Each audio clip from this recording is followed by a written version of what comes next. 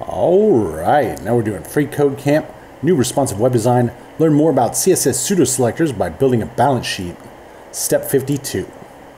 So now we're going to give the captions an absolute position and shift them at negative 2.25 rem from the top and 0.5 rem from the left. All right. So we'll come down here and say, um, what should we say? Position absolute. All right. And then we're going to shift them from the top. So we'll say top is negative 2.25 rem.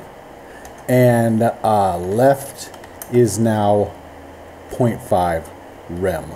Just like that. So these move from in the middle to over here. And let's check it. Looks good and submit it. All right. Now we're on to step 53. And we'll see you next time.